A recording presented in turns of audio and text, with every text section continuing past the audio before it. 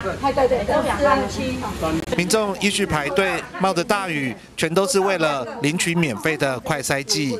立马公布报告，咱于三八议员有发起募款，咱即马有快乐出兵，甲一寡善心的人士，甲咱赞助一寡快筛剂，咱预定十点在咱的服务处要来发。里长透过广播，不限里民，只要是基隆市民，都可以来免费领取一剂快筛剂。说一剂说一百八哈，我不是我听我小孩对，哈哈，还有那个药剂是有身份证单数的，跟双数有分呐。对，啊，我我们排队很长，又没有的。他有的没有办法去上班啦、他经济又这么萧条啊，你说这样子有有办法过活吗？里长于秀珍接获不少里民反映，全家人都确诊，无法外出工作，经济收入短少，只能向里办公处求救。以目前我们遇到的情况哦，就是说，像有有很多里民打打电话来讲，就是他们一家都确诊了，啊，也没办法出去去去买东西呀，哈。那最主要是快筛快筛剂啊，因为现在几乎有一些工人他们去上班，就是几乎天天要筛啦。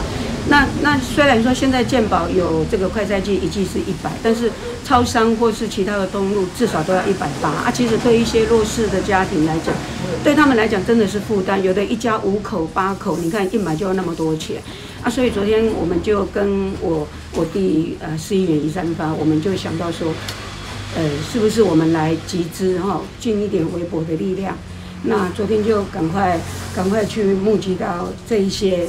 里长于秀珍和当议员的哥哥于三发，短短一天内就募集到两百剂的快筛剂，连夜和职工们一起分装，终于在早上十点将第一批两百剂快筛剂送出去。后来就透过我们快乐出兵，大家几个这样子讨论，讨论之后就说好，那我们我们来集资看看。没想到说现在真的是善心人士，愿意帮忙的人也很多，然后同理心的也很多。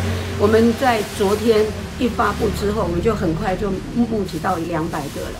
那两百个之后，这也是一个抛砖引玉啊。后来就陆陆续续有些人要捐钱的啦，有些也加入说要加快赛季，所以我们现在目前是两百剂，我们到下午还会来两百剂。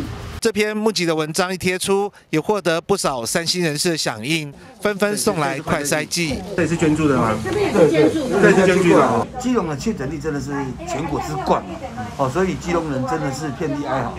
那大家求助无门的情况之下，而且我看到大家在外面排队的时候，基隆又常下雨。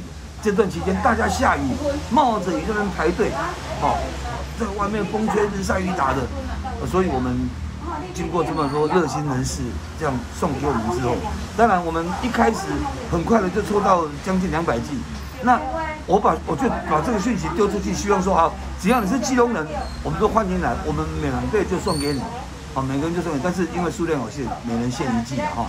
啊，也因为这样，陆陆续续有一些人看到这样共襄盛举，所以陆陆续续又有很多人一直捐过来，所以现在我们预计牧场目前现场上看来又增加了大概有两百剂左右了哈。